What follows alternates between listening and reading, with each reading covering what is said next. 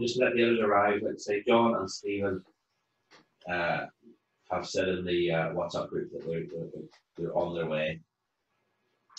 So, first of all, let's see, I'm getting the agenda in front of me. Uh, welcome to the July meeting of the ABC Business Network. Um, this, the idea is to connect with each other, to help each other grow. So as much as this is a, a once a month meeting, I encourage people to connect with each other during the month, uh, find out about, a bit more about each other. Each month we go through uh, this meeting. The, the, the, general structure is we'll do a, a, bit of a one or two minute elevator pitch, find out about everyone, and then we have a, a guest speaker or, or, a member speaker. And this week we have the very wide awake Mark Fagan telling us all about um, how to prep your house to make it look good for uh, selling, uh, and lots more, I'm sure, about the estate agency business.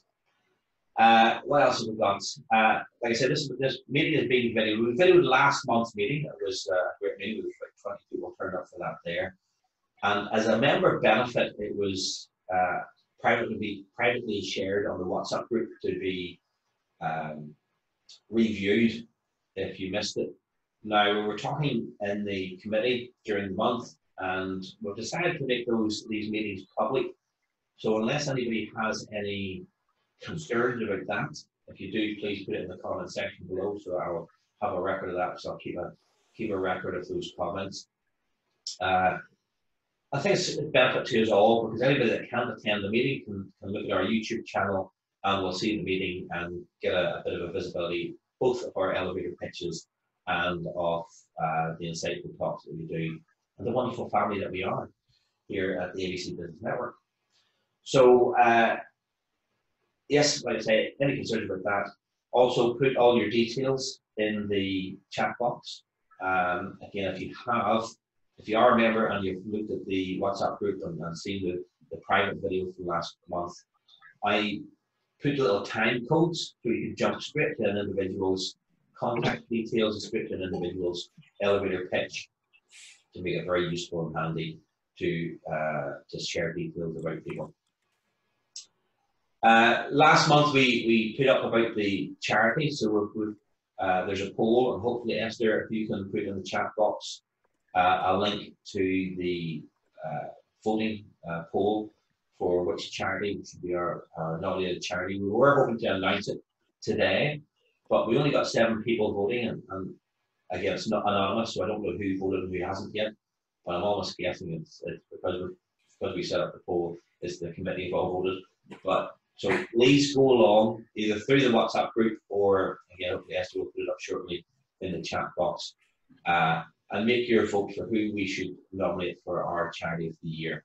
I think we really rather than just making there's a there's a uh, front runner at the moment, but I'd rather have uh, 15 or 20 votes before we decide that we, we really do represent what the the the, uh, the whole membership wants for the chosen charity.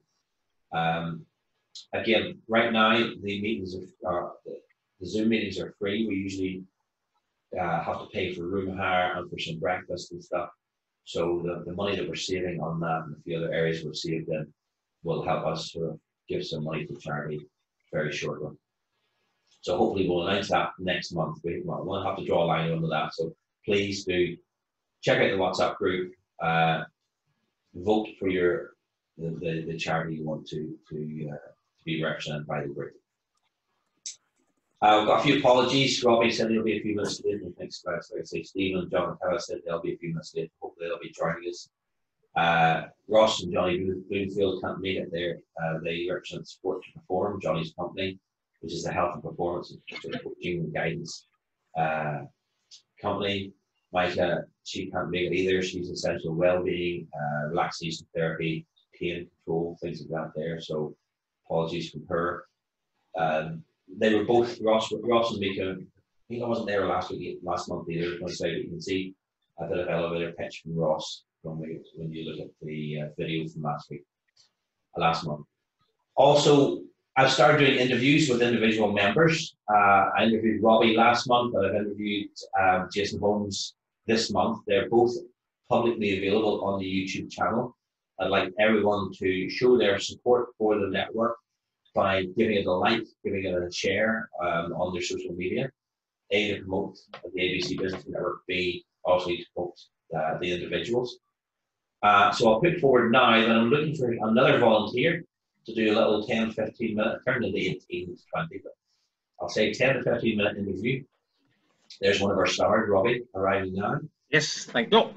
Um, yes, so if anybody wants to be interviewed by myself, um, then please put your name forward. So, you know, again, through the WhatsApp group, it's a membership uh, benefit. So uh, I'll move on to that there. If you join as a member, um, talk to uh, Alan, the treasurer, or contact myself, uh, and we'll get you signed in. It's uh, keep me right here. It's ninety-five pounds for the year, but pro rata, so um, we divide that down for the month to join in. Good morning, good morning to everyone. Good morning. Um, what else? What else? That's it. Yes. So a few people who can't stay the whole way, but the agenda for the day is going to be we'll kick off with two minutes um, elevator pitch. Our theme for this month is where do we go now? So just to highlight any next steps that we're going through. Um, we'll have Mark's talk after that, and then any time left, we'll we'll split up into a few breakout rooms to have one-to-ones with individual members. So a few people have to go. Um, we'll kick off with the two-minute pitches, and I'll start with Mahvash. So if anybody wants to, well, uh, the background's off back for everyone else. You can mute just to make sure anybody that comes in the room doesn't disturb Mahvash or anybody else speakers. Mahvash, tell us about yourself. Two minutes. Good morning. Two minutes is quite a lot, actually. so I'm Mahvash Graham. I have a, a interior design business uh, on the shore of Lough Neagh. Uh, come and visit me in the studio. It's actually quite a nice studio. Um, since the lockdown, the business has been really, really dragging down, but it's beginning to blossom. I have few good projects in hand that it's going to sort of work, uh, make me busy for for next few months anyway. So it's good. Uh, where do we go from now? Uh, I don't think the business is going to be as it was before the lockdown. It's either going to be better or uh, it's going to be more uh, level headed. Um, what it was before lockdown, I think it was unreal. Uh, uh a lot of time was wasted, a lot of time we had uh, was sort of spent here there, and there that wasn't really purposeful. But now I think it's much, much direct and uh, uh, life is actually is much more meaningful. Um, I was uh, during this time I actually got in touch with Una, who is uh, our secretary here, and Una is doing a, uh, uh, some work for me uh, to do with Instagram and my website. And uh, she is fantastic. Uh, really recommend it. She's very passionate, very, she, she knows what she's doing and she has an artistic uh, touch to everything that she does. So uh, I'm really delighted to twin with her. Uh, last night I was watching a program uh, uh, George Clarke's Amazing Space. I don't know whether anybody has seen uh, Channel 4. Yeah. Uh, and uh, it's interesting the way he tackles the spaces uh, into different, uh, you know, he, he, he goes and interviews people that they are changing their environment. one of the buildings that he was sh- showing was a building in Chile um, a, house of worship, a Baha'i house of worship in Chile, and the building was just amazing. The way it's been built is just amazing. So uh, I'm spending time to sort of look at other uh, uh, buildings and other spaces that it's been uh, redone or are uh, being done. So there isn't much that I can say. If anybody knows of anybody that wants, I specialize on window dressing. So if anybody wants to sort of pass on the message that I could do, um, I, I, could make their environment more uh, beautiful, more friendly, more relaxed, please let me know. And uh, I'm looking forward to Mark's talk. Uh, unfortunately, Mark, I might actually miss you, but if I don't, I'm sure Turan is taping this, yeah? Yes, I'm recording it right now and it'll be released as well, so that's good. Yes, so, so I, I hear it later if I don't hear it now. And, and, and okay. fingers crossed, I think with a lot of people talking about, um, even after the lockdown's finished, working from home, um, I think the home will be a more important environment than ever. So make sure their their their exterior exactly. is just and perfect is hopefully going to be good news for yourself, Ramesh. Great, thank you, Tor. we'll move on to another uh, person has to nip off early. So Brian, it's first time here. Uh, so tell us a bit about yourself and how we can help your business and where we're going next. Okay, uh, my name is Brian Pope. I'm a local councillor in Banbridge. Um, and from the beginning of June, I'm also the chair of the Council's Economic Development and Regeneration Committee. Uh, so you can imagine I've got quite a big uh, remit, um, so getting to grips with that. Um, obviously, I, am passionate about town centres, local economies, transformation, um, and really innovation and creativity as well. Um, there's quite a lot going on in terms of social distancing, uh, support of cafe cultures, uh, the regional growth deal. Um, and we're also going to meet, be meeting the economy minister as well with a cross-party group to discuss what they can do to help. So it's really just to say hello and if there's any sort of questions. Good stuff, good stuff. Right, who we'll have next? Joanne is uh, again another new face to the group. Uh, so please tell us about yourself. I'm Joanne McConville and my business is Clarity Leadership and Coaching Company. Started off last year um, doing life coaching and hypnotherapy and then had to sit back because I wasn't getting enough business, sit back and look at what was my passion when I was working. I had 30 years in the NHS um, leading up change at senior management level. So I'm looking at leadership to support leaders and offering a very bespoke program according to the needs of their service.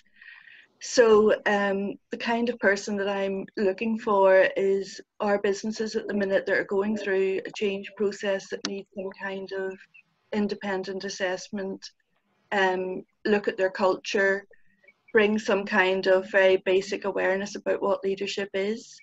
Um, and on the coaching side, I'm looking for a portfolio of businesses that I would be the go to person for their coaching needs. So, really, I am just trying to get in through the door and have businesses lined up so I can go and chat to them. There's nothing better than going and actually seeing them, whether it be Zoom or whatever, um, just to let them know about coaching and how vital it can be to their workforce. So it's like leadership with coaching, but a very bespoke program um, for them. So I would go and meet a company, look at what they're actually looking for and the time scale I think it would take, and then very much you're working out what they need and coming in and assess the baseline and then go into a program with them um, to do with COVID, obviously a lot of stuff dried up. So I had a group of women that regularly would have come and had um, hypnotherapy with me, but they're obviously on Zoom now at their meetings and going to one next. Um, I have a coaching client because obviously we can do that on Zoom and it works really, really well. Um, and I do walking coaching, which sounds a bit strange, but you pick a beautiful place and that's where you do your coaching. Um, so whatever area they're in, I will pick a couple of places or they will of where they feel the most comfortable and we'll do it then. Then I write up the goals and send it to them um, that works. That's lovely in the in the summer. So I'd like to do a bit more of that. Um, and apart from that, I'm writing two programs, one on leadership and one on change management. That'll be a booklet that, like a diary or like a Bible, that'll keep people going through the change process. Um, so if anybody knows of any small, medium type businesses that I could even get the door in, whether or not they turn out to be clients, just to get known in the local area, um, or wider if you, I'll go anywhere. So um, wider afield. I just had a contract um, about to be signed, about a week to be signed, a very lucrative one with the prison service. And of course, they went into COVID and everything got pulled. Um, so I don't know how long it will be before they sign up to their um, actual program again. Um, but at least it's out there and they know who I'm at. I'm at. So with all the different know, networks, it's just a matter of me keeping on plodding away. But if anybody does, I'd love the names and I'll just go in and hopefully get them and, and promote what I do. Well, uh, well uh, fingers crossed that the prison service contract comes back on board. I think yeah. I've written to a lot of GPs as well because I do clinical yeah. hypnotherapy and they have a social prescribing budget um, and that would fall under that. Um, but of course, COVID again is their priority at the moment. So, but lots of people will be going through changes. Hopefully, they'll have learned an awful lot from this experience and need somebody then to work through the change program with them. Right. But we'll see how it goes. Lots of good, lots of good things in the in the in the fire. So fingers crossed, um, the network can help you out there. Who will move on to next? David. David hasn't had a shout in about two months, so let's hear that lovely voice. I'll unmute myself. Um, good morning, everyone. David McGeown from Fire Safety Solutions. Uh, we carry out fire risk assessments across every type of business uh, throughout Northern Ireland, the Republic, and in the UK. Uh, obviously, things have been very different with us with the lockdown, in that we weren't able to address quite a few situations that were coming up with clients. But it got to the stage where there were risk elements involved and we had to get back to work to be able to go out where insurance issues were coming up. Recently, we uh, got notification from Northern Ireland Fire Brigade that um, a lot of companies had put the likes of their fire risk assessments and carrying out work on the back burner. And the fire service for Northern Ireland were saying, look, insurance companies, being insurance companies, aren't going to um, run with this they will still penalise, they will still use it as an excuse to get out if something does happen. And they were telling clients uh, to really get all their fire risk assessments, fire risk work completed and their certification in place. I was with um, an HMO, a house multiple occupation, yesterday uh, that the lady had just bought over. Uh, and unfortunately, she was in a strange situation where she thought that because the previous owner had implemented the likes of her electricals EICR certificates and checks and things that would apply to her. Unfortunately, uh, building control said, no, you have to get these yourself. So she's had to reapply with us to get all her fire extinguishers or emergency lighting, you name it, the whole remit done again. Where she was under the impression that because the previous owner had only had them done the year before, she would be fine. Unfortunately, building controller saying no. So really, if you know anybody who's out there in the same sort of situation, or needs to get up to date with their fire risk assessments, we're happy to come out on a free site visit, give them an idea of where they are, what they need to do to make sure they're covered by insurance, etc. And happy to have a chat with anyone along those lines. Thank you. Sounds good. Sounds good. Right, uh, Peter, haven't seen you in a while as well. Have a few meetings, so let's hear from your good self. Right, well, get it out of the way first. Uh, 12 years, four months, three weeks, four days. Uh, But who's counting? Um, for those, for those that don't, don't know what on earth that means, that's how long I've been out of the Ulster Bank and free. Um, Ex-Ulster Bank manager, uh, 33 years banking experience, most of that in commercial. Uh, since retiring, very early, very, very early, um, I have been working on a self-employed basis as business consultant and mentor. Spend most of my time with new uh, businesses, people wanting to set up a business. Um, needless to say, that has been very quiet for um, March, definitely April and May. The last week and a half, I have seen four, or not virtually seen, four times as many clients as I did in the previous three months. So there's a lot of uh, activity out there of people uh, for various reasons uh, deciding to look at the uh, possibility of setting up for themselves. I also assist existing businesses uh, if they're seeking finance, or if they are looking to take over another business um, or extend their business. I Look at a reality check to make sure what they're doing makes sense, um, how they're going to do it, how they're going to fund it, how they're going to market it. Uh, so that's basically what I do. My mantra is uh, I make your business the success you want it to be so that you will achieve the lifestyle that you aspire to. All way for one. Perfect. Cafe or restaurant called Boulevard. Any idea where it is? Up there to the left. Right, to the left. Yeah, Okay, right, it's off the main road. right, no problem. There you go. He's. Uh, Barbara, Barbara, let's hear from yourself next. The lovely Barbara, and tell us about this Thursday's um, podcast, video cast on Facebook.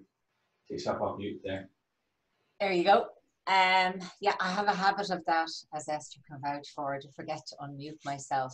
Um, hi, everybody. I'm Barbara Edwards, obviously by the accent. Um, I don't live anywhere near any of you because I'm over in Donegal. I'm originally from Dublin.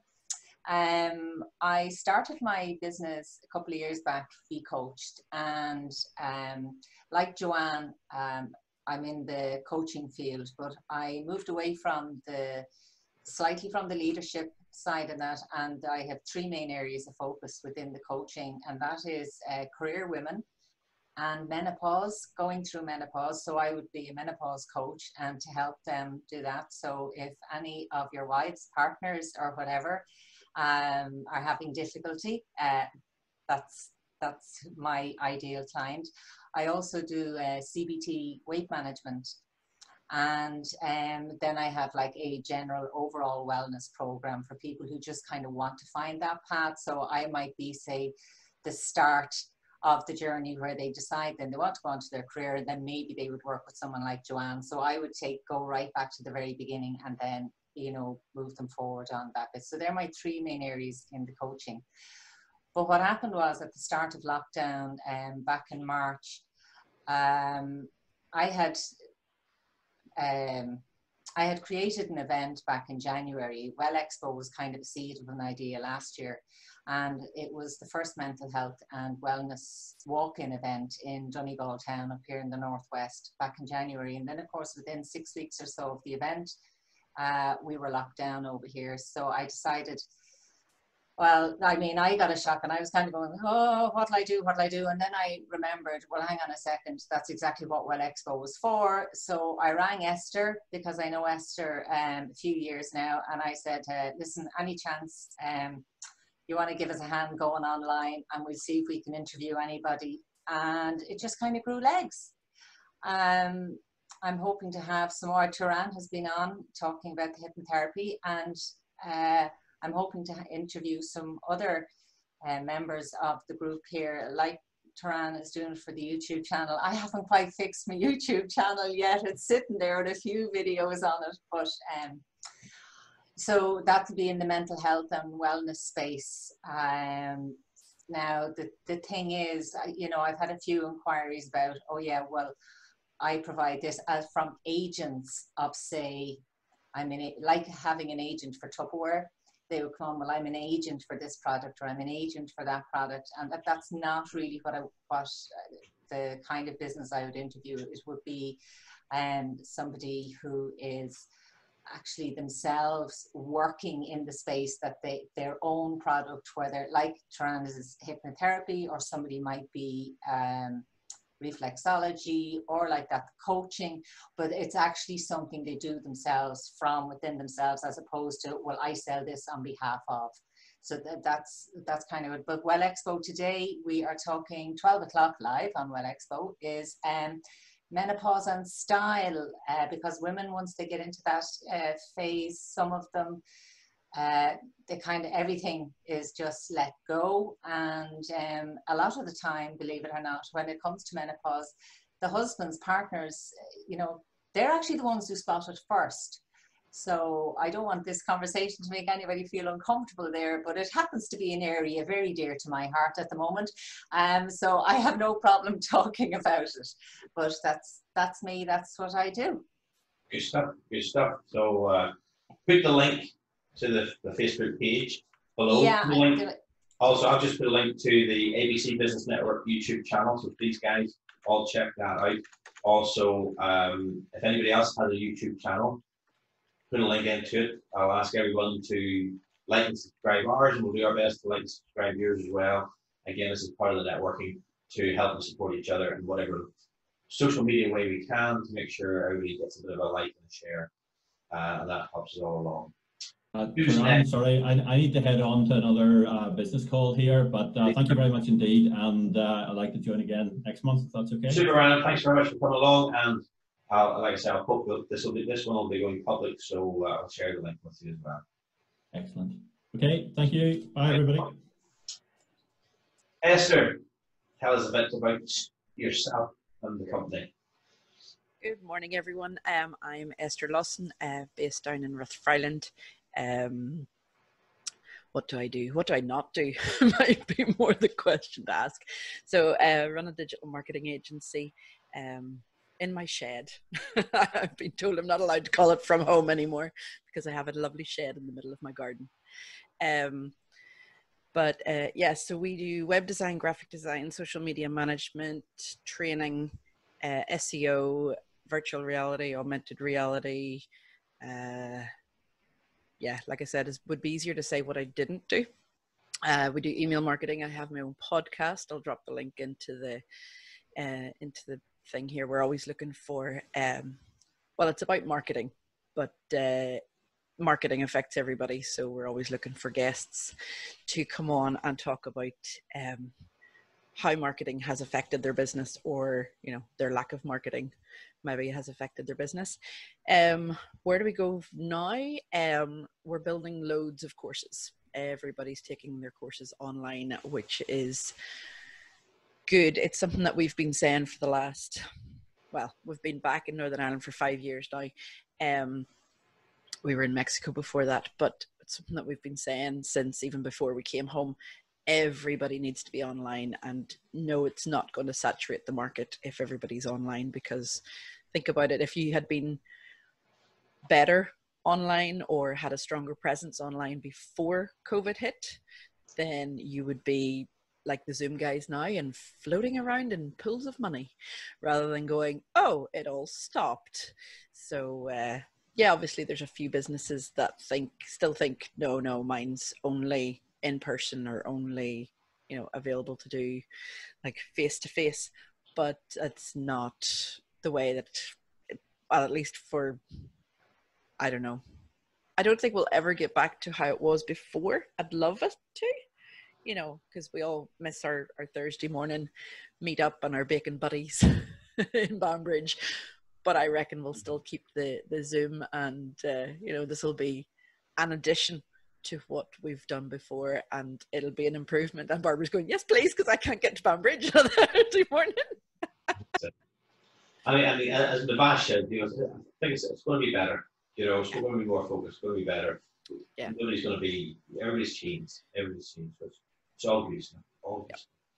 Thanks, Esther. And from online, everything online as Esther is, to everything in print, Robbie.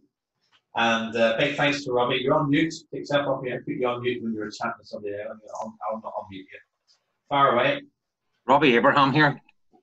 Um, as Turan says, I'm an advertising manager for three newspapers, and we do have an online element as well. Um, and three papers are the Ulster Gazette and Armagh, County Down Outlook in Rathfriland, and the Newry Democrat. So we're very much alive and kicking. Things are picking up again for us. Um, we've sort of come out of COVID quite strong and things are picking up again. People are still buying the newspapers. And Kieran, I'm sure, will explain that he featured two of them this week with articles. We got some PR there. Um, yes, so we're still operating. Um, we did do home deliveries for those who couldn't get out, and thankfully our circulations held its own again. So um, yeah, things can only get back better. So we're pushing onwards and upwards. So buy a local newspaper, folks. Indeed, indeed, it's, it's still a valuable tool. And like I say, thanks very much, Robbie. Um, I'm now doing a bit of a column in a couple of the, of the papers. So I'm really delighted with that there. And obviously shared that in social media um, to help support the, the print. Good read. Yep. Indeed. Thanks very much for that. Um, who will move to next? Uh, John, John McKenna. How are you guys?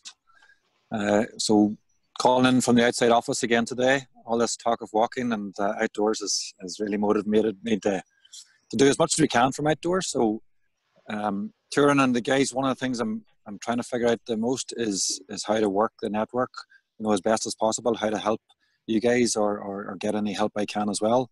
So um, third time on this morning, just trying to change it up a little bit. How do I say similar things in a different way? Um, and, and, effectively, how do we how do we connect more? How do we um, how do we make the most of the network? So, um, listen, what we do or what I do, sorry, is a commercial development service. Um, customers, who needs customers? We all do probably.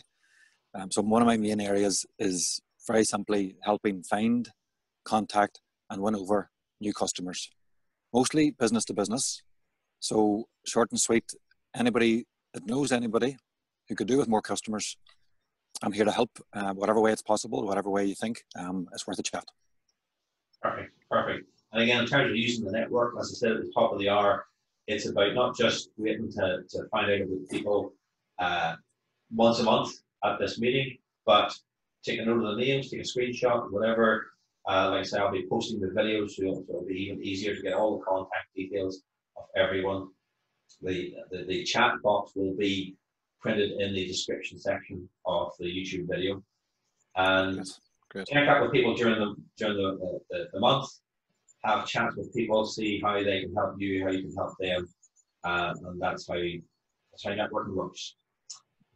Right, Mr. Sorry, Tron, uh, sorry, I have to go. So Indeed. thank you very much. I'm looking forward to see the video later. Perfect, perfect, Bhavesh. Okay, Good to see you. you. Bye. Bye. Bye, Bye-bye. everybody. And we were uh, now going to say some people say he's the master of cartoons, others, other people just say he's a bit of a joke. But Mr. Wilson, Uh, how are we all? Uh, my name is Philip Wilson. Uh, second time uh, on virtually. I was down about 18 months ago, two years ago, doing a, a, full pitch, a 10 or 15 minute pitch. Not going to subject you to two minutes because nobody wants two minutes of me uh, on, a, on a Thursday morning. Uh, what I do, um, I create illustrated animated video. So the, the uh, ladies this morning have talked about video being a powerful tool. I create powerful tools with, with, with video, but they're not real. They're, they're, they're, if you want to, to use a line to, to, to work with, they're Ben and Jerry, Ben and Jerry, Tom and Jerry for, for business. Um, uh, Esther used lovely, lovely emotive language about floating in pools of, uh, of money. I, we would actually draw somebody, all of us floating in pools of money and, and put that up online. Who I've been working with, I, I, think I said before, or I said the last time, I'm about 300% of target because again, what Esther said, people are putting stuff online and they're unbelievable. I always did really fun things. So, so my, my things, you, you could spot them. They were always ridiculous. There was always, they were almost like um, digital online pantomimes with, with big dames and horses and, and, and quite foolish, funny things. But, but everything has been very serious because of uh, COVID. So I've been working, I've done three videos for a lady who's doing stress and anxiety, um, who's in Scotland. I'm doing um, a video for an app company in Scunthorpe. I'm doing four or five things at home which one is sexual impropriety, one is um, uh, one's a, a, local training company. That'll be the fifth video for a local uh, training company. Just wanted to tell the story that they're not like a boring training company. They're a proper, real cool training company. So employed me to do that, and uh, and a few other uh, things. So if you want to see any examples, I don't like to to fill fill your your your boxes full of things. You'd like to see any examples, my name is Philip Wilson, Company's Internet Sense, and I can be found, a bit like Turan, under any digital rock uh, at internetsense at gmail.com, uh, all those uh, all those different things. If you just want to chat, I'm great fun. I, I'm, I, I, you know, help you with your business, uh, but you know, I'll chat through any uh, any circumstance or create a storyboard for you free of charge or whatever, and let you see what we or I could do for you. So that's Philip Wilson Internet Sense. Well under the two minutes, great crack, and um, and definitely something worth knowing. Just a quick thanks for that there, and all the way to San Francisco. We'll talk to Stephen. he doesn't have his usual toilet papers behind him. no, change changed it now. You know, I've upgraded the system. Work give us a, a nice new Dell Latitude uh, system here to work from home. So all's good. Morning, folks. Stephen McGarry is my name from WPA, uh, Western Provident Association, uh, a non-for-profit organisation specialising in private health insurance and medical insurance. Uh, we do individuals, families, corporate, large corporate, we do an element of cash plan and we also do the full private medical insurance.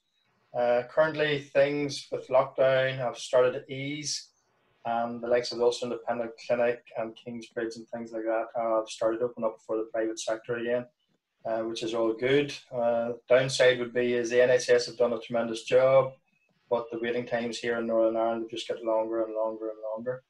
Um, we have a promotional at the minute when things are a little bit quieter with, with lockdown. Uh, for individuals or families, we 25% discount in the first year, 15% discount in the second year, followed by a 5% uh, discount in the third year. So certainly if you have private health insurance there and it's due for renewal, keep us in mind and let us, let us give you a quote for that, you know. Um, and likewise, we do corporate schemes as well. So say it's Steve McGarry from WPA, we specialise in private health insurance. Excellent. Again, if you want to put those special offers in the chat box, that'll that'll be on the on the uh, on the YouTube channel as well under the description box. Right, Graeme, how's yourself? How's out and about today?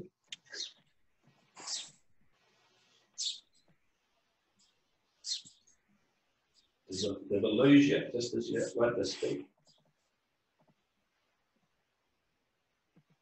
I don't know if you can hear us, Graeme, but you're frozen this end. A few more seconds. No, going once, going twice. We'll come back to Graham if you hopefully get the connection back that you can hear us talk. And right, we'll move into the next section, which is, well, I should talk about myself as well. Shouldn't I? Great. Are you back, Graeme? I am. Uh, right, we lost it for a second there. How's it going? no, I'm uh, I'm in the car here, so connectivity is obviously not fantastic. Uh, just thought I'd like to to join you, just to say hello, guys. Indeed. Tell us about, about yourself, about the business, FSB. Well, FSB has been working away furiously um, throughout COVID. Uh, obviously, we were involved very heavily in all the negotiations with government on the rescue packages, and I hope we've all received some help. Unfortunately, some have fallen through uh, the gaps. We're still working on those. Uh, our member services are there and working as fast as ever. Um, our legal help free 24 hours a day, focusing particularly on employment law. Uh, and we know going forward is going an awful lot of tax issues coming up. Um, we are going to see an awful lot of employment tribunals after this. We are going to see an awful lot of tax investigations after this. And those are the things that FSB handles free for their members, and we're better than anybody else at doing it. Um, I would just say to anybody who's not a member, have a chat with me. It costs nothing to talk. Uh, lots of members in, in the group. Uh, traditionally, I was one of the original members when it founded. And uh, so I thought I would uh, join you and keep the FSB face in. So good to talk to anybody. I'm delighted to see you back. That's Thank it. you. Thank you. I say glad to see you back because I wasn't about when, when you were in. You know? No. exactly that crossover. Um, yes, anyway, that, that give my. I'm gonna Mark. I'll just give you your two minutes to start off, or uh, incorporate into your talk. Is that okay? Give you a bit more rest time to wake up. Do you want me to do the talk and then straight into the presentation? Yeah, yeah. Is that good, or do you want to do? You want to do Hi guys, uh, Mark Fagan from Mark Fagan Bespoke Estate Agent here. Um, basically, I've been in the agent for 15 years, and I've seen, unfortunately, estate agents don't have the best reputation um, of the lot, and I've seen some really good people, but I've also seen some really bad people who just kind of drag the industry down. And after 15 years of going out and seeing people and trying to give the best customer service I could, I thought it was time to branch out and do it on my own. Um, the problem I kept seeing with the bigger agents was that they were sending valuers out to value your property and give the owners a hard sale.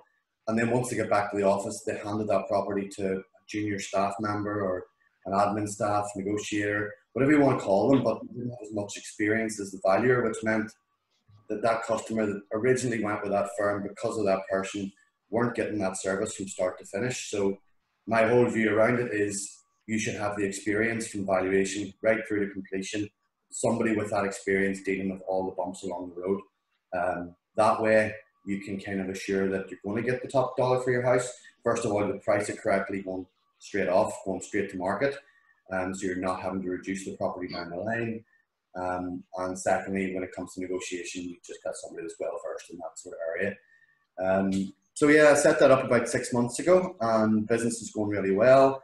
What happens now is, well, we've been closed for months, so um, we have seen over the last 10 days just a massive pent up demand for properties, and um, there's been viewings below on any properties that I've had on the market and offers coming in the mortgage situation has changed slightly, so a lot of the higher loan to value products have been taken away by a lot of the big lenders, and most of them are kind of sitting around the 85% loan to value, which does unfortunately knock a portion of the first time buyers out of the market temporarily at least. Um, we would like to see a change, and we are expecting a change of that to back up to 90% loan to value within the next two to three weeks. So we're hoping that things are getting back in. The confidence is definitely there in the market. Um, the pent up demand is there, but we just need to see what sort of, um, going back to what Graeme said there, you know, what sort of um, unemployment levels hit. I don't think we're going to see the sort of extremities of that come the end of the year. So uh, all good at the moment, but probably a few bumps in the road to come down the line for the market, I would imagine. So today I um, let me just share the screen. Uh, where are we here?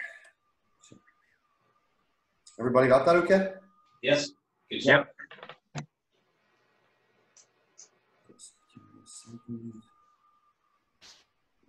So today I just wanted to show you or talk to you a little bit about um, anybody that's selling a house or going to be selling a house in the next six months, year, two years, three years. It doesn't really matter.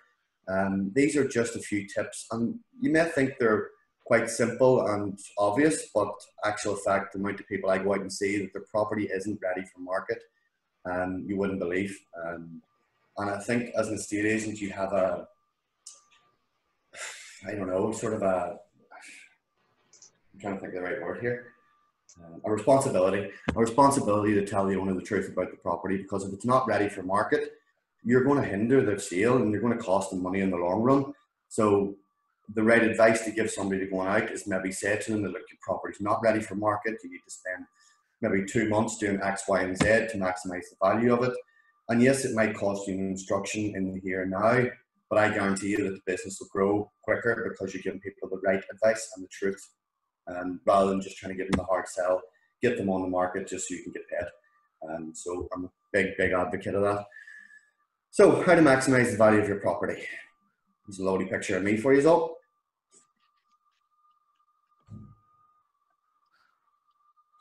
So yeah, one of the main priorities for everybody is when I talk to my vendors is I want to sell my property for the most money. I want to sell it as quickly as possible, and I want to pay the little, the, the less amount of fee that I have to to the estate agent. So uh, they don't half want their cake and eat it really. Um, so how do you ensure that you maximize your, your home's value to full potential and what can you do to increase the appeal and eventual price? So there are a few measures in here. Some of them are kind of um, bigger, more costly measures and some of them are very, very simple. It can be done with a bit of DIY and a bit of imagination from home. So first of all, get your marketing strategy right. So in this day and age, and this kind of goes back to what a lot of the members were saying today, um, the online uh, marketing is very, very important for property these days. So um, high, highly visible presence on Property Pal, Rightmove, Property News, Zoopla, all these kind of main portals, it, they do increase your chances of selling, but only if the presentation is right straight off. Um, and so much so, I've actually spoken to Una and Mahvash and I've included them in a package that I offer to my vendors. So I now have a, it's called a gold package where Mahvash would come in, stage the property for photographs, and Una would then come behind her and take the photos and then send it all over to me. So we haven't worked on any projects yet because the market was closed, but now that it's open, I have a few properties coming to market that I have in mind for it. And if the vendors agree, that's what we'll be doing. So what what the thinking behind that is really is if your house looks as good as it possibly can, like Show House, and it's advertised to the world out there, 90% of selling properties or people buying properties is visual. So if they can see it looking at its absolute best, the reality is you're going to get 50% more viewers than you might have if you just took the photos and looks any other day. Um, with more viewers through the door, you're going to get more offers and you're going to deliver a better price. So again, it's not rocket science, but small steps and a little bit of extra cost at the start can honestly increase your selling price by thousands of pounds come the end of it. So the vast majority of people now search online and most cases they'll head to one of the portals to do so. So that's kind of the heaviest part of the market and the advertising needs to be online. But then some traditional methods like for sale boards, people in the area will see them and that will drive them to the portals to have a look at the property. So again, just going back to what I said, the more demand you can generate for the home, the better your negotiating position will become, and this increases your chance of achieving the best price. So make sure your home looks at its best. Again, might sound obvious, but something sellers can get complacent about. If you're in a rush to get your house sold, it might not be sale ready, and this is where your estate agent has to come in and tell you it's not sale ready. You can't just put it on the market because you're you're desperate for listings or you're desperate for that income again, the right advice to somebody, will they'll talk to their friends and, and make sure that that right advice goes and your reputation grows for being truthful and honest with people rather than just being a salesman. So if it's not right, your home could sit. The first two to three weeks of any property on the market is the most important time. It's the, the, the time when the most demand comes through, the most viewings come through. And reality, if it's not sold in that time, it's going to hinder and ultimately down the line, you may have to reduce your price. So that's why getting it right straight off is really, really important. So ensuring that your home captivates rather than repels is something that doesn't take much time, money or effort. It's just a case of getting quick fixes done, correcting the wonky shelf, mending the broken handle, window sills, skirting boards, dust-free, dirt-free. Uh, these little things that prospective buyers could notice put off by. So first impressions are really, really important. So it's effectively gives them no excuse to turn their nose up and look elsewhere. So, and then a little bit on decor. So, equally, something like carpet in the bathroom, you've been a major trend, trend in the 70s or 80s, but it's definitely no longer the case. Um, and it'll only serve, serve to deter would be purchasers. Uh, the same goes there for out there decor, color schemes, things like that. Property needs to be appeal to a modern audience and as wide a range of buyers as possible. Neutral, minimalistic, and contemporary. These features are likely to have the widest appeal. So Mahvash will, will agree with me on that. Um, due to her line of work, she will know that, you know, that it sells. And it's almost like those neutral colour schemes with a bit of window dressing um, just really do have the effect. And I said it doesn't take much to actually dress the house. So best way of adding value is to carry out home improvements. Um, bigger projects such as extensions, kitchen makeovers, conservatories, garage, loft conversion are likely to bring the biggest uplift, but they do cost money. Um, and they are the most expensive ways of actually adding value. So converting your loft, so this little bit here is actually, I think, a little bit inaccurate. Um, converting your loft to another bedroom and ensuite bathroom, for example, could cost between 25 to 35. I think we've kind of overshot that a little bit with this um, statistics, probably based in England, because actually it costs probably half the price to convert your loft than it would to put an extension on your property. So if you know anybody thinking of selling in a few years' time, it's certainly a way that you can maybe spend 10 to 15,000 converting that and it will uplift the value of your home by sort of 20%.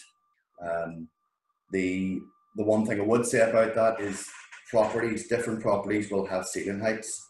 So based on, um, sorry, there's just a big lorry pulled up in my house. Um, based on the type of property. So if it's semi-detached townhouse, detached, etc., or the street in the area that it's in, they will have a ceiling height. So just be sure to talk to somebody and get a bit of advice before you add that on because you might have reached your ceiling limit. You won't achieve any more for your property due to the area, etc. Um, so extensions are also popular. 22% of homes sold in 2019 had an extension. They can both add value and attract more buyers. Again, just be careful. Probably better on a detached property because of the cost of adding it on. Um, kitchens. So the recent boom in popularity for kitchens, with many now seen as the most important room in the home. It just means that the kitchen is now the first thing that people go to because it's the most expensive room to actually replace in the home. It's it's one of the things buyers constantly look at, and it goes back to 90% of it being visual. So if they're not able to see and put their imagination into what they can transform it into, you can forget about it. They're gone. They're away elsewhere, and they're going to look at six more properties that have more modern kitchens in it. Uh, it doesn't cost the earth. You don't have to replace the whole kitchen. You can look at worktops. You can look at doors. You can look at getting it spread. Again, a bit of a facelift um, will 100% help. And um, so you just see there, 65% of homeowners have revamped their kitchens before selling up. So again, it's just it's one of the recommendations I make constantly for people thinking about putting their property on the on the market. So sometimes these larger scale projects could require planning permission and there are no guarantees, of course, that they'll help your home to sell or increase its value. But generally speaking, loft conversions, extension, kitchen makeovers are likely to increase the value of your home. The outlays are, will be substantial and they won't be completed overnight. There are easier, less time consuming and more affordable ways to increase the value of your home. So with everything kind of going on with COVID, the garden space has never been more important as well. Um, people are spending a lot more time in their gardens. Um, and I think at this stage, you can do a lot of DIY. It doesn't cost a lot if you're doing quite a bit of it yourself to do a makeover in your garden. Um, and I think if anybody is thinking of selling soon, that would be one of the areas I would definitely focus on. So uh, I'll speak a little bit more about curb appeal a little bit down, but certainly people pulling up to the house to look at it, first impression is going to be the outside of the house. So again, if you have a front garden, make sure that's the first project that you do. Tired looking front door, again, liquor paint or maybe upgrade it to PVC door, things like that. Again, a couple of hanging baskets, things like that. But we'll touch on that a little bit later. Uh, and driveway parking is important for people. So um, tired looking front door, upgrade a bathroom, redecorate, creating a driveway, double glaze your windows, make your home smarter and more energy efficient. So working with the right estate agents. So I've kind of touched on that in my sort of elevator pitch at the start, but um, people generally do overlook it, and there's no doubting they'll maybe have three agents out, and they'll end up going for the one that's charging them the cheapest fee. But actually, that might not be right for them. You know, they need to listen properly to the advice that the estate agent's given them, how honest and truthful they are with them, and uh, actually what evidence they're showing them that this is how I've arrived. You won't have a business number, people are no, um, or his personal number, she was McIntyre. No, no, no, it's just Lobby. So crucial but often overlooked factor, choosing the right agent in the first place drastically improve your, your chances of maximising the value of your home. A good agent will have the expertise, local knowledge, adaptability, strong work, work ethic, good communication skills, and ability to work under pressure is needed to push through a sale.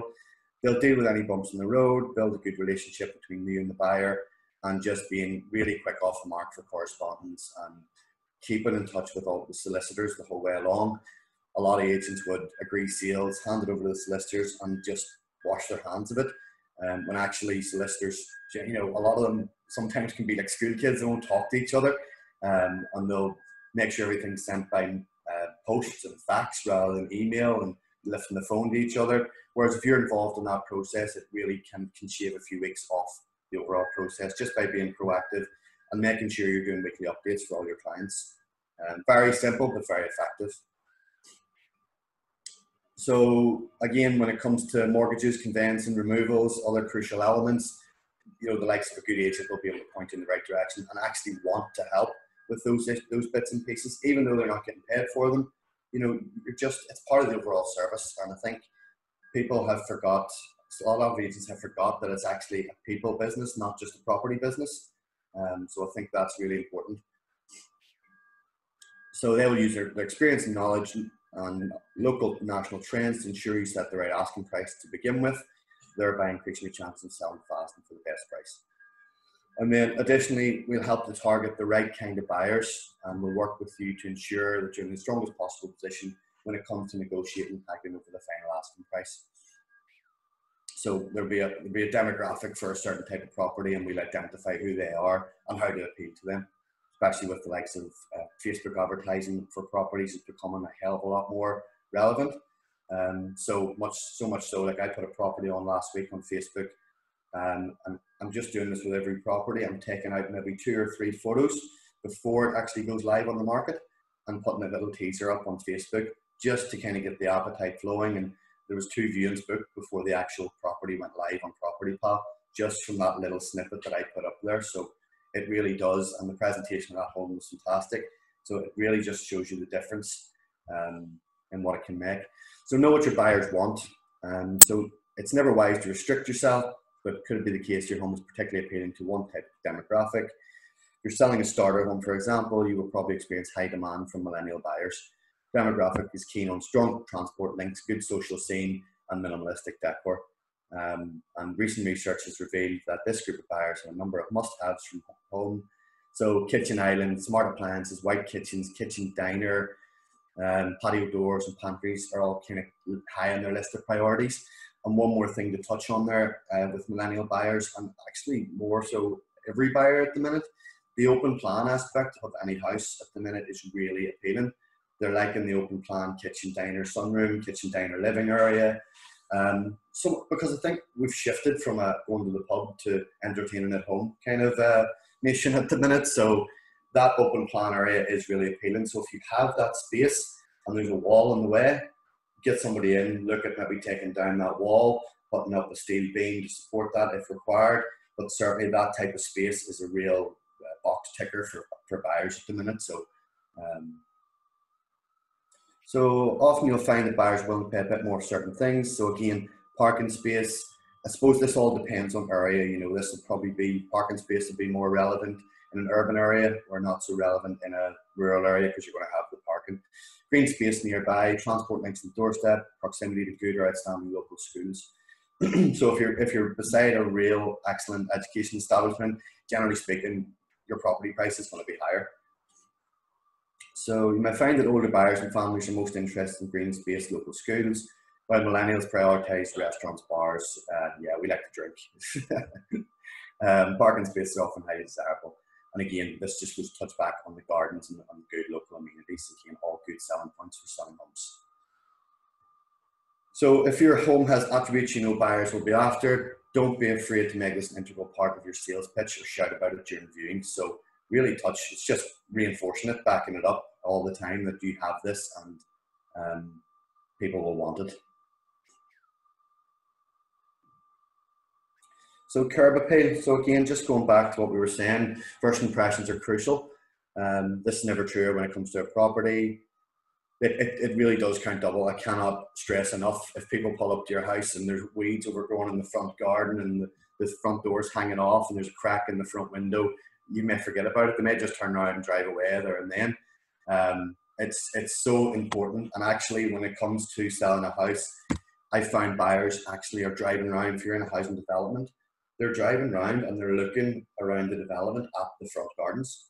They want to see how well they're kept. They want that is an indicator of how nice an area or how good an area it is, how many properties are rented. Because if they're rented, you're likely to see much more uh, overgrown grass and not taking any care and attention in it. And again, that will put the buyer off if you're in that housing development. So the better kept the front gardens and, and the curb appeal is, the more chance they're going to come inside and they're they're going to come inside with an open mind and a positivity rather than pulling up and being negative when they step through that front door. So again, very simple but very effective. Um, so this can be achieved in a number of short, simple, inexpensive steps. Tidy it up, sweep any leaves or litter, consider planting some shrubs or adding some hanging baskets. If you have a driveway, just ensure it's clean, tidy, well maintained. You may also want to give the front of your home a fresh lick of paint wash or sand the tired looking front door, clear any drains or gutters clogged up. So again, crucial first impression.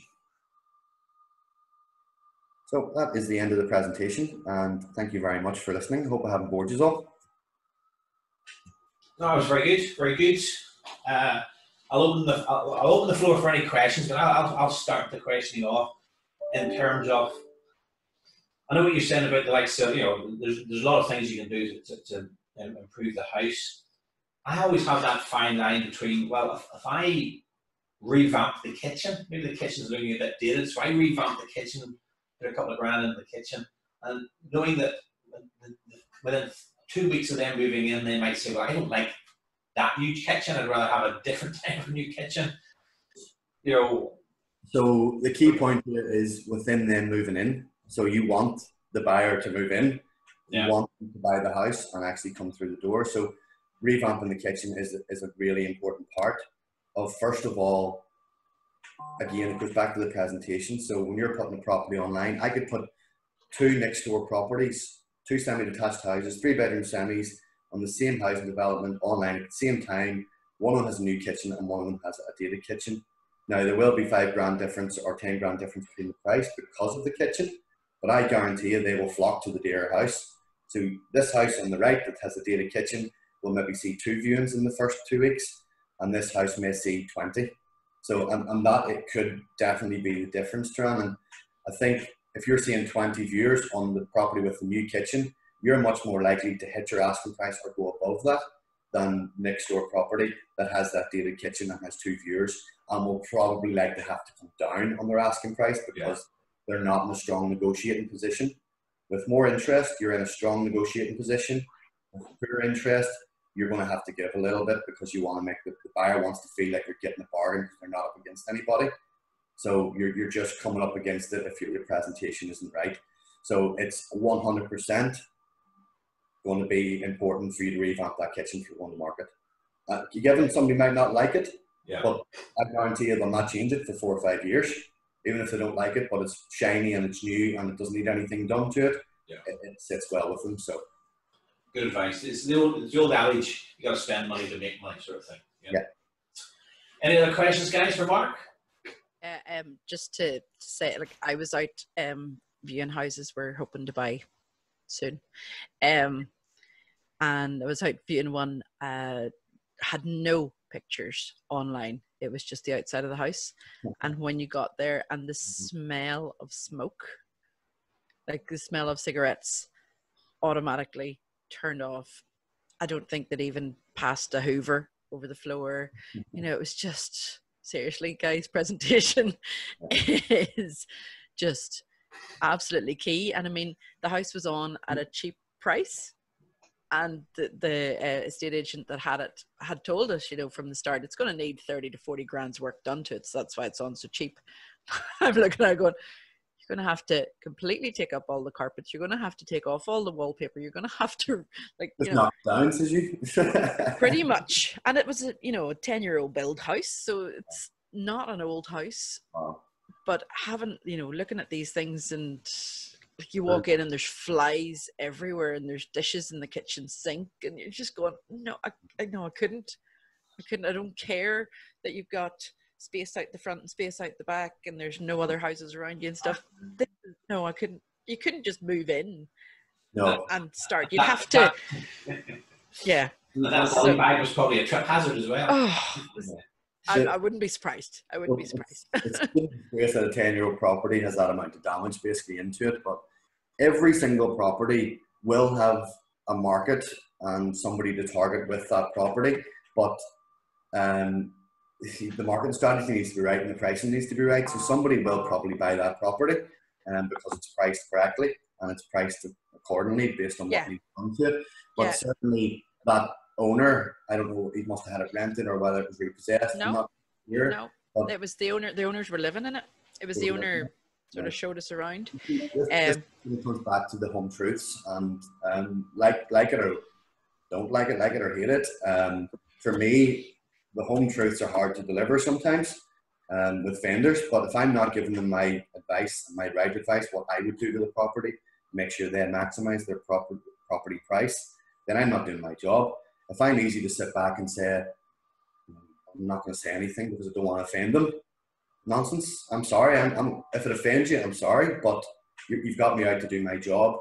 Got me to value property and tell you how to maximize the best. So I'm going to tell you the truth about what I think. Um, if you listen to that truth, you're going to achieve a hell of a lot more than you would by putting it on the market as it sits. If you listen to what I, the advice that I give, and then still say to me, I want to use you to sell my house, but we don't want to do anything, okay, let's have a chat about what where we price it then. Because if you're not willing to do anything, we need to see, we need to find our level. Yeah.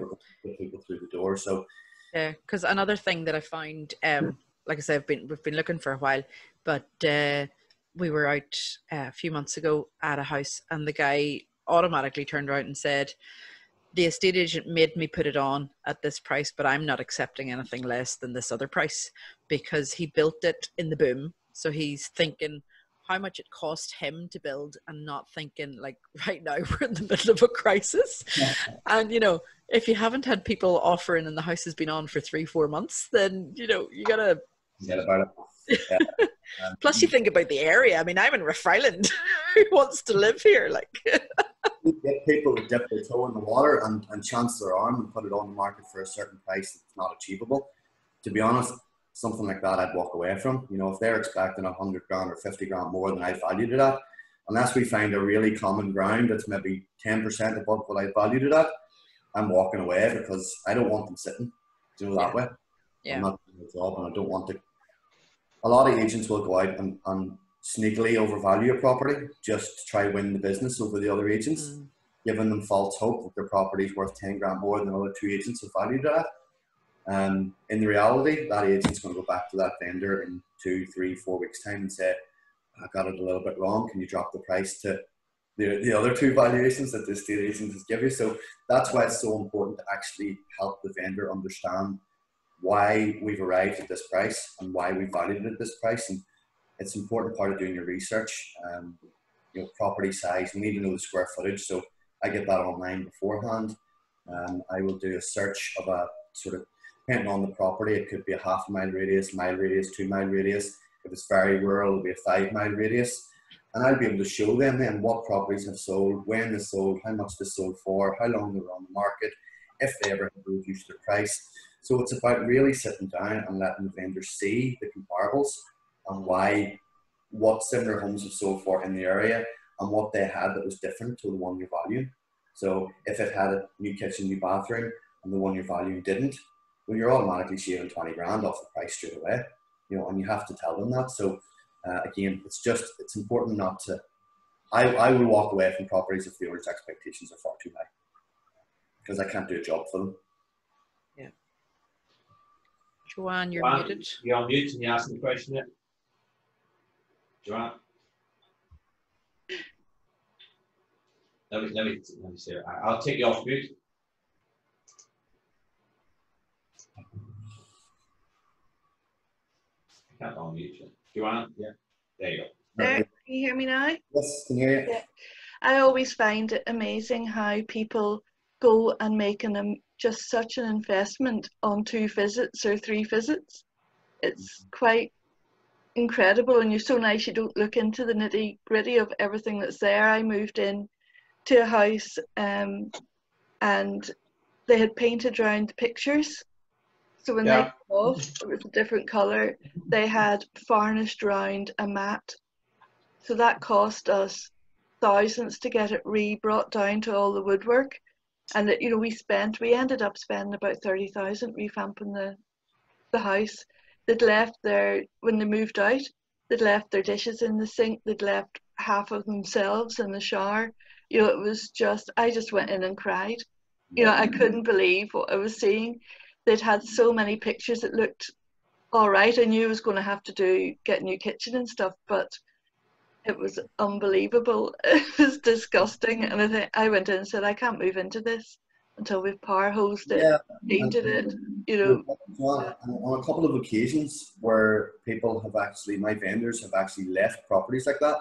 Um, now, obviously, we've control over how they leave them, but you know, it's nice to leave a property ready for somebody to come into, clean the whole. Mum and dad moved house about four weeks ago, and you know, they cleared all the furniture out, you know, back in the next day and completely blitzed the place and you know, cleaned it all down and behind everything and inside appliances. And I learned a lesson of not to be shy at looking at everything. You're going behind the picture frame. They'll be lifting off their their mirrors and their picture frames. I'm never going through that again.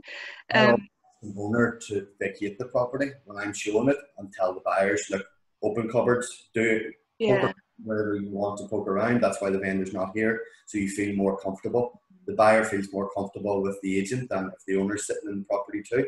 Yeah. So it's always nicer to show it that way. They'll spend longer there. They'll take a bit more time in each room, and they won't be afraid to open drawers and cupboards and look at the if they're savvy enough to look at those bits and pieces. But I've actually seen on a few occasions where the seller's solicitor has ha- had to hold some funds back because the property has been in the state that you've just mentioned there. yeah.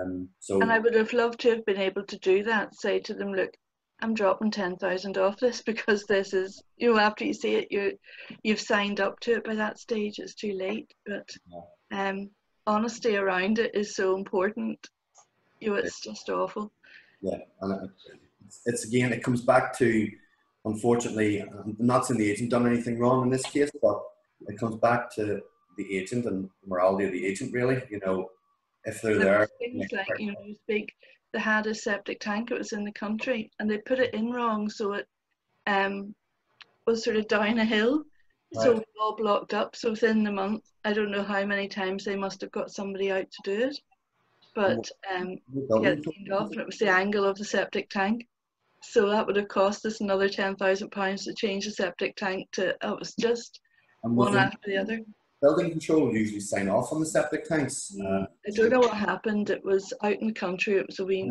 you know, but they'd been in for about ten years in the house, yeah, um, and it looked like they hadn't cleaned for ten years.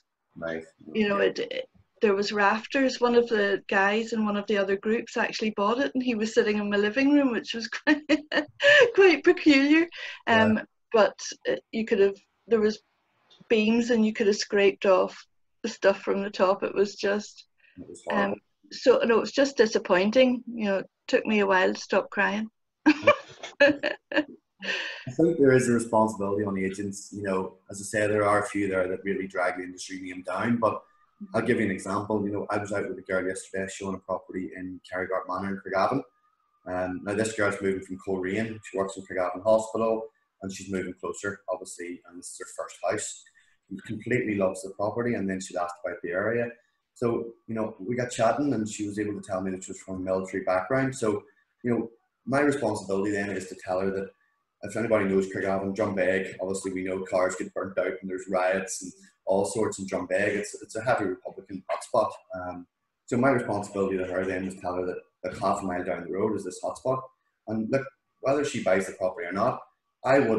forgive myself if she bought the property and then got forced out of the property um, because of where it was, it was because somebody got wind of that. You know, so I think other agents would just sit by and say, "Oh no, the area is perfect and there's nothing to worry about here. It's totally safe." Again, I just think there's responsibility.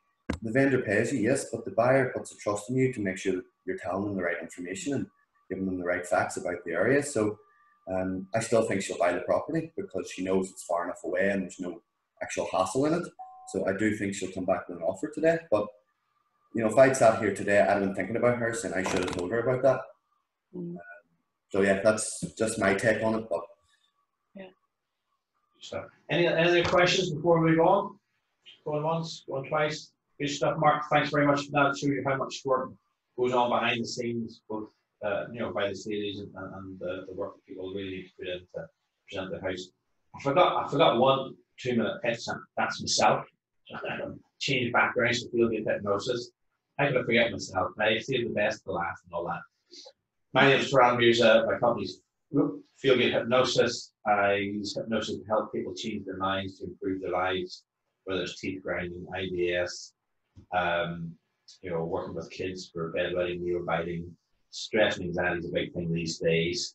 Thanks to going online, um, I was actually working with someone in the Philippines this week. So uh, again, and, and again, I was even talking to my neighbour last night, and he says, "How's things?" I said, "Yeah, working away online." Can, can you do hypnosis online? So it's it's still something people aren't educated in. This is not about beams coming out of my eyes or, or magnetic fields coming out of my hands. This is communications and connecting at a communications level and can be done very effectively over Zoom. So uh, pass that information on to anybody that has an anxieties that why don't you have a, a Zoom call? We're starting to do a few select in persons, um, but still very much working on Zoom and it allows me to work worldwide. So that's me, Turan Mirza of Feelgood Hypnosis, and I'll change the banner back for the last 10 minutes that we have. Maybe only grab time for one, you know, four or five minute one to one. So I'm going to set up the breakout rooms. We'll, we'll call it there for a day. Um, listen, thanks very much. Thank you very much, Mark, for, for informing us about that. I think it's very educational. Um, nobody's didn't have any objections to this going public, so I'll be I'll be releasing this when I get around to video editing to take off the uh, little startups and end offs. Um, and, and yes, if you're not a member already, I think that only applies to you, Joanne, but anybody that's listening is not a member, And Philip. please do. And, and Philip, and Philip, yeah. I know Philip. I like to just I like to just ghost in and ghost out. Um, you, you get you get your name and details on our website, which helps SEO for your business. Um, you get uh, to join the WhatsApp group and keep informed of things throughout the month. Uh, and you can do things like I've just posted on LinkedIn. Can you go and share it? Can you go and like it and comment on it to help raise the profile, things like that there. And uh, what else? What else? Yes, again, as part of the package, we're offering first come, first serve to, to use this uh, paid license of, Zoom. So if you're uh, whether holding, I used it the other week, just holding a, a family uh, quiz night over Zoom, but whether you want some uh, tie up with some uh, old college mates or whatever, and you're doing more than one to one, rather than paying for Zoom, uh, as a member of this, you get you get that opportunity free as well. Okay. Could you send me those details? I might use that for the quiz this week. Indeed, give, give us a, uh, just uh, drop myself or Esther uh, an email. Oh, Turan. Okay. Turan. I'm too busy. Talk to me. Talk to me. I don't, I'm as well. That's why all- knew, nobody knew about the meeting until about last night. Like, oh, I forgot to send out the email and send it. it's been mad. But All right, guys. Thanks very much for. We'll call it to an end there.